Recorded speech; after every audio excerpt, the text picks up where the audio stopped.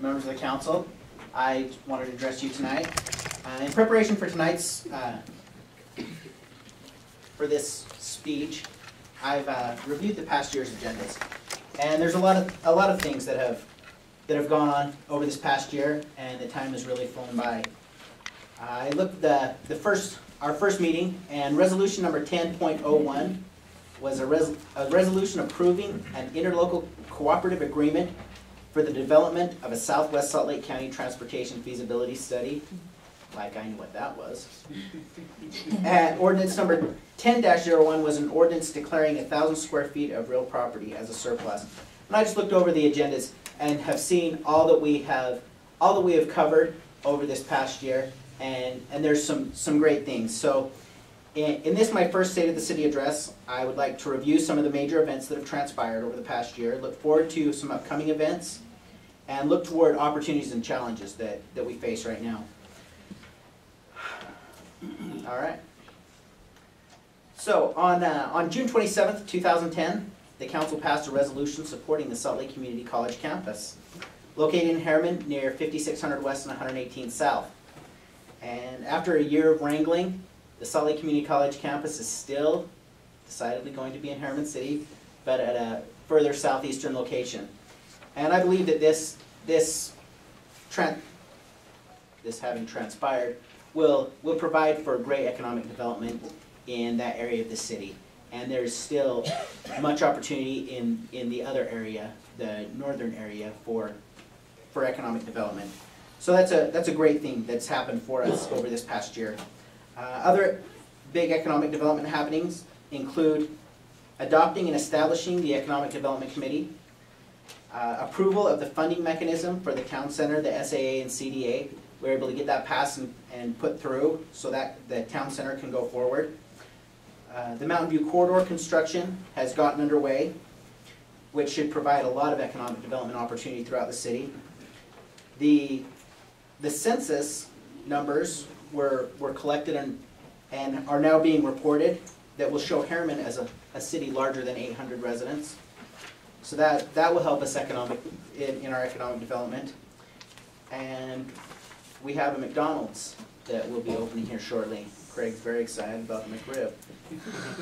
So, it, it a- That, that is a requirement.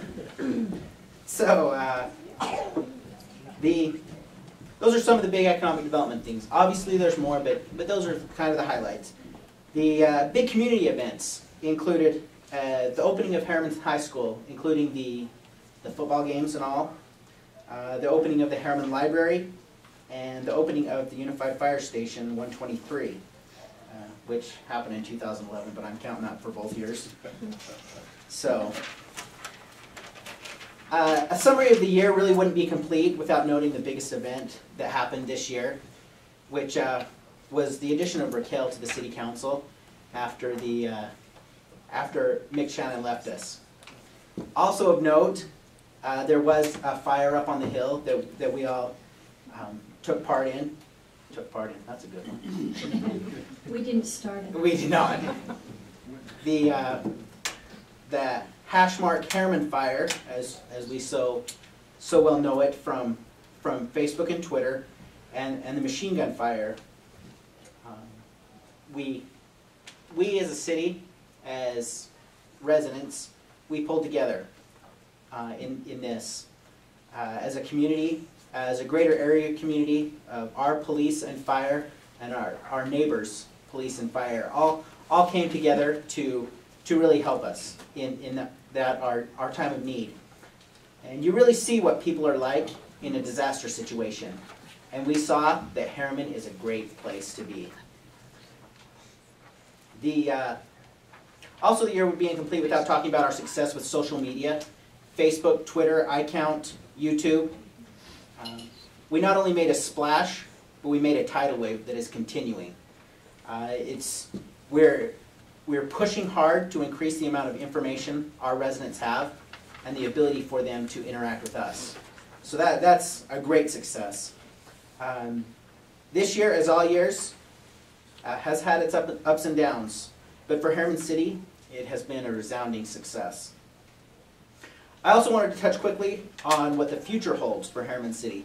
We've talked about the Mountain View corridor, and that's a, that's a great thing, that we hear rumblings of even December 2011, there will be traffic on the Mountain View corridor, uh, which we're hoping for, not expecting until, until more into 2012, but we uh, also, at some time this year, maybe having a, a ribbon, a ribbon cutting on the rec center. We keep pushing it back and pushing it back, and it may end up to be, being next year. So, He's that- just joking. that's a joke. So, uh, we're gonna have that, and it's scheduled now for March eighteenth, and they said that's a guarantee. So, um, not like the guarantees before, this is a real one. The, uh, we should shortly see, uh, the golden arches. So we can grab a Big Mac on the way to the rec center and a McFlurry on the way back.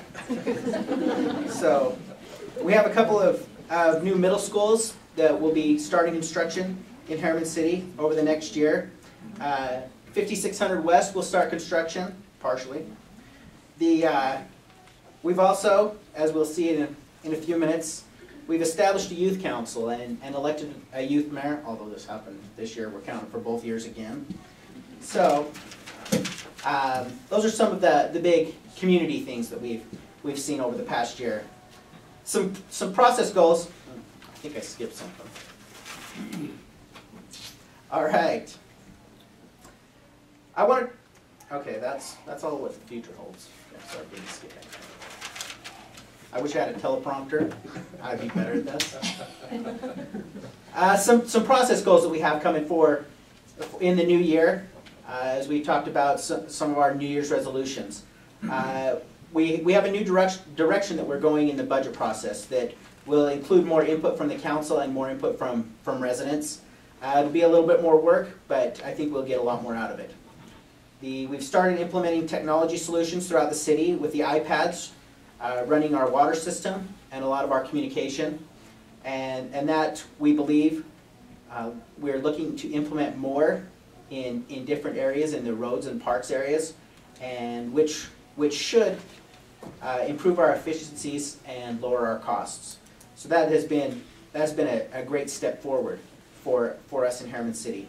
Uh, we'll also be implementing additional transparency goals, making things quicker and easier, uh, giving quicker and easier access to, to documents uh, with our next website release, which we're expecting to be this spring.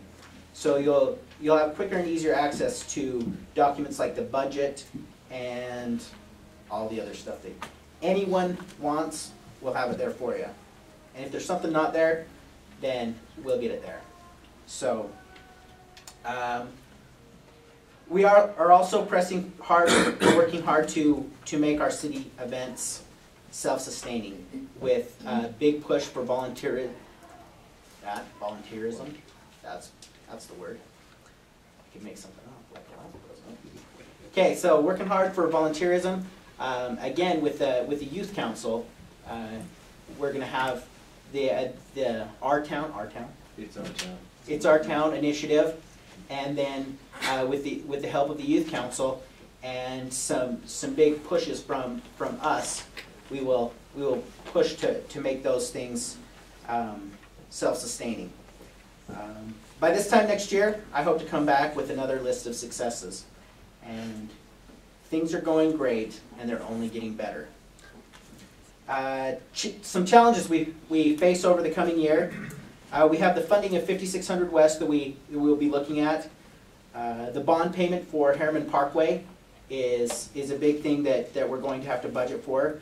We have a- the final payment for, for the land purchase, which will be a, a big, uh, if we can get that figured out, that'll be, that'll be a big plus for us. Um, We also have an uncertain economy, housing market, and overall development market, which, which looks good for us comparatively, but we'll, we'll see how it comes in the forward. Uh, If we, if we take care of what we have and spend carefully, we will come out lean, ripped, and ready for the future. So, I can, this, I was gonna do an impression, but Barb said not to. So, But I can proclaim that, that the state of the city is strong. So, thank you.